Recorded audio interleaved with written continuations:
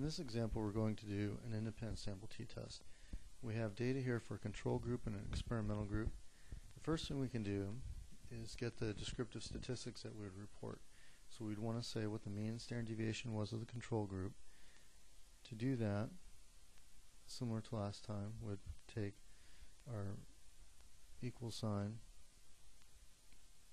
to say that we're going to use a function, type in average to get the mean, and then we would put the array that our data is stored in, which is B2 through B9. That would be our average for the first group. We can take that and copy it, paste it over into the other column for the experimental group, and we have our mean for that group. Then we can get the standard deviation, again saying, using the equal sign saying that we're going to use a function.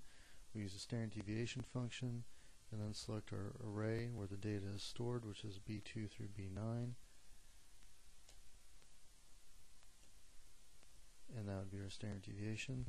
Again, we copy it, paste it, and we have our mean and standard deviation for the control and experimental groups.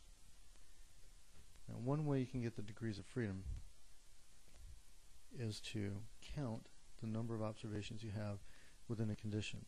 Now, you can do this by hand but if you want to use a function in Excel to do it, you can say equals count, and then you put in the array again that you're interested in, B2 through B9.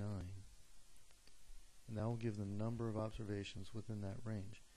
And then you're going to add, in this case to get the degrees of freedom for an independent sample t-test, we're going to add the number of observations in the control group, so we can do the same thing, count C2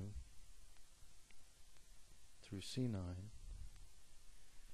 and we're going to subtract 2 because the degrees of freedom for the independent sample t-test would be n1 plus n2 minus 2 and that gives us 14 degrees of freedom.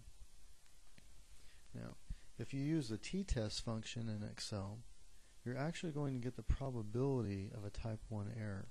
So it's the p-value. It's what you would get on a printout in something like SPSS it's similar to what we are doing looking at a critical value when we did the analyses by hand. For the t-test, you put in the two arrays you're interested in comparing. So again, we have B2 through B9 and C2 through C9. And then you have to say what kind of test you're going to do, how many tails you're going to run, and we'll do a two-tailed t-test like we've done most of the time. And the type refers to one, a paired sample t-test, which we do not have in this case. Two, a two-sample t-test in which the variances are equivalent. And three is the other option would be a two-sample t-test where the variances are not equivalent. We're going to assume equivalence of variance and put a 2 in for that option. And that gives us the probability of making a type 1 error. However, to get the actual t-value that we'd want to report in our results, we need to do something else. We need to use a t-inverse function, which in this case will take the probability that we just calculated in B15 and the degrees of freedom that we did a little bit earlier that were in B13 and we find that the t value is 3.55 so our t-test turns out with 14 degrees of freedom is equal to 3.55 with the probability of a type 1 error being less than 0.01.